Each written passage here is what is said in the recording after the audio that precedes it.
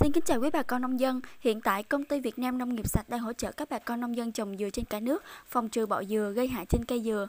Để được hỗ trợ tốt hơn, quý bà con nông dân vui lòng để lại số điện thoại bên dưới phần bình luận hoặc gọi về số điện thoại hotline 0919817033 để được đội ngũ kỹ sư nông nghiệp tư vấn kỹ thuật miễn phí.